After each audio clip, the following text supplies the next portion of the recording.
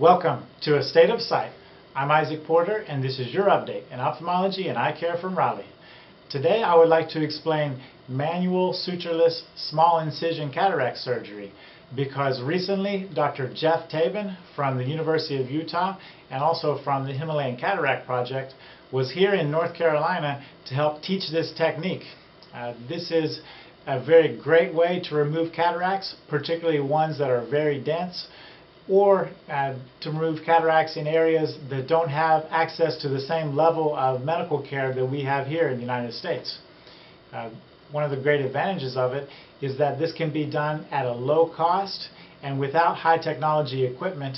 And I believe Dr. Tabin said even they can do it now for total cost of less than $15 per eye, including everything, including medications, equipment, and disposables.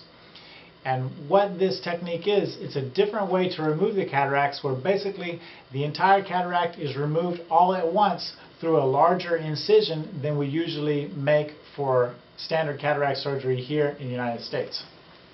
The approach is a little bit different to remove the cataracts this way.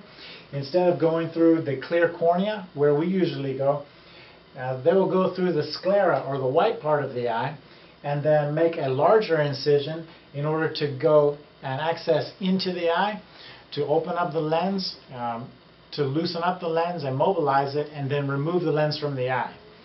Uh, then if there's any uh, residual pieces there, they can be removed by manually aspirating them uh, using fluid, and then the lens implant can be placed inside the eye. Uh, I think one of the greatest things about this technique uh, like the name says that it's sutureless, there are no sutures generally needed in order to close this incision because of the way that the incision is created. Uh, sutures can be expensive or difficult to access in certain parts of the world and so since this can be done uh, quickly and efficiently and seal very well, uh, this has been a great cause or excuse me a great solution uh, for global blindness.